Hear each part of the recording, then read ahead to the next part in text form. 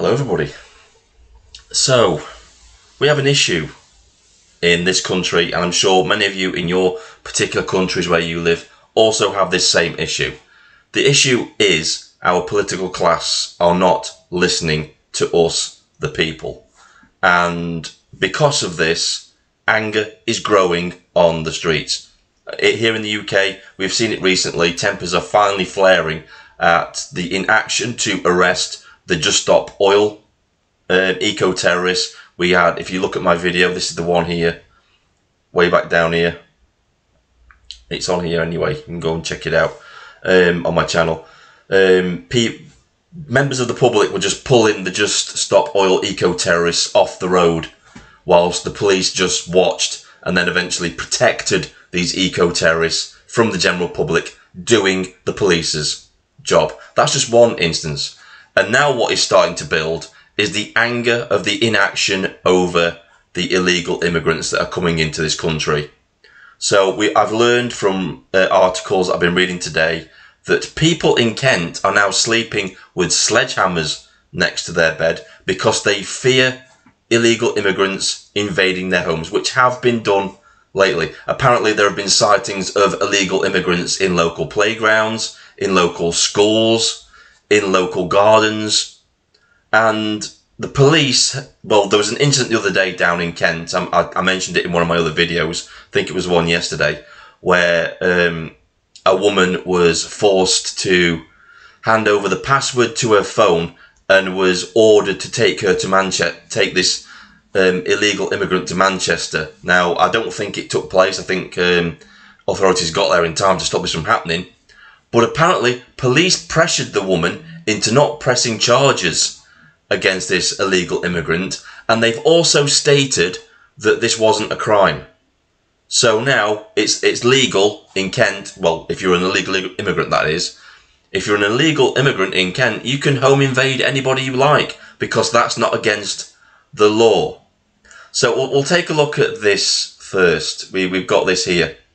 So this is from a guy called David Alferton, I think that's how you pronounce his name, and he says this. In Tamworth in Staffordshire, allegedly, it appears an asylum seeker from Ethiopia, Somalia, or Eritrea is seen in a playground taking photographs of the children. One resident has one resident has confronted him, and he was in fact streaming on Facebook. He left only to return.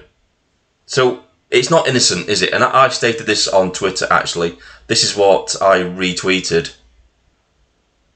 Oh, I haven't actually got it, unfortunately. So, actually, I th- think it's here. Yeah, that's it. It's here. I, I thought I retweeted it, but I haven't. Um, it says this: This could be a human trafficker picking out children to kidnap. It's sick, but it happens. Everybody has to be on high alert with their kids now. We have a very dangerous, we have very dangerous individuals in the country thanks to the government's lack of action, and that's true.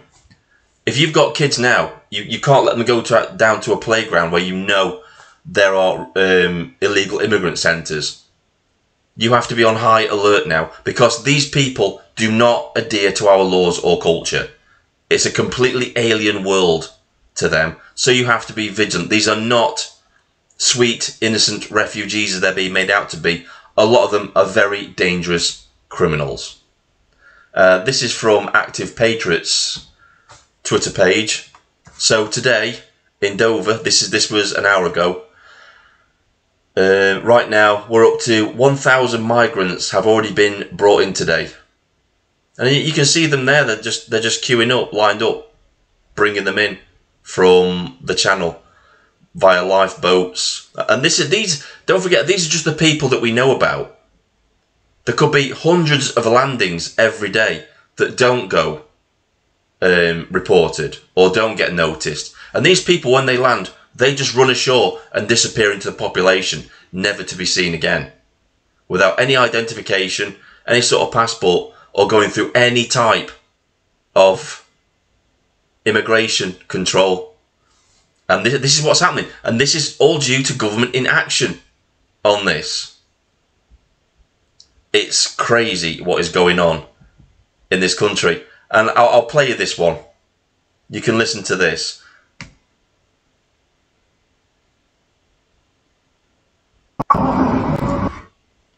So before I play it, I'll just give you a little background on it. So this is from a migrant, uh, illegal immigrant hotel, sorry, and this is the early hours of the morning.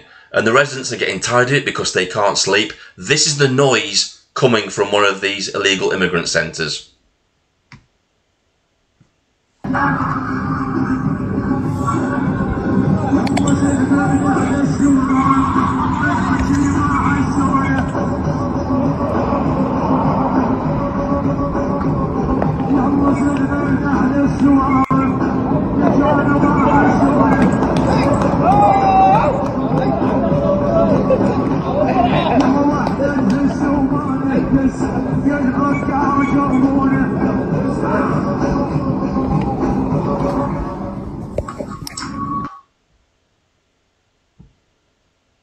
So that's what residents have to put up with. I'll, I'll find out where this actually is. I Actually, think it's on the tweet. So it's this is what the this is what Active Patriot is saying. It's 10:30 p.m. on a school night. This is in the Holiday Inn. I don't know what that is. Manvers, Rotherham. That is housing migrants. Music, football, drinking until early hours. The neighbours are not happy. This has been going on for a long time, and they they have small children that have to be up early for school. Again, inaction from the government and the local police and the local council.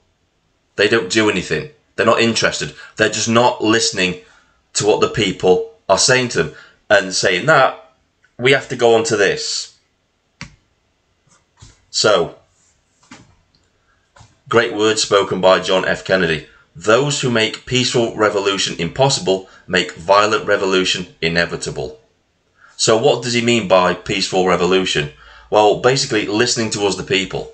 That's the first step in a peaceful revolution. It's coming to some kind of agreement with the people saying, look, this needs to be sorted out. You need to do it. And then the government enacting upon that and then changing things so it doesn't lead to the second part of this statement, which states violent revolution inevitable. Because that's where we're heading.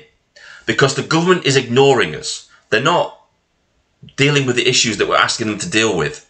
They're, they're concerned with Ukraine, net zero, and that type of stuff. They're not addressing the issues that face us, everyday, average, regular people.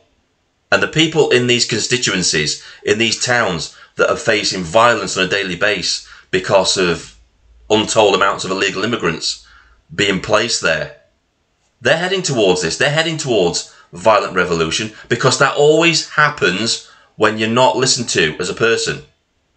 When your government stops listening to you and they keep piling on the pressure and, and don't do anything about the situations that are making the people angry, violent revolution is inevitable. It really is. Anyway, just wanted to get that off my chest. This is Vindicator signing off.